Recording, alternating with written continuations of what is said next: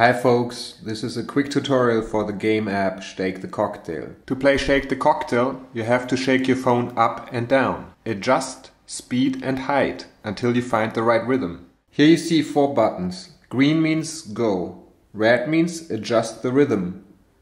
Read what the buttons say, either faster, slower, bigger or smaller.